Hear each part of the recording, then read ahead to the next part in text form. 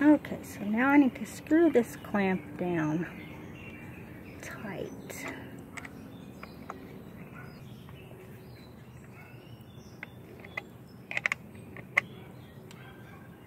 I wonder if that's tight enough.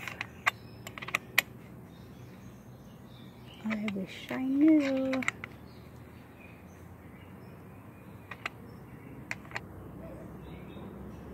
That feels pretty tight to me.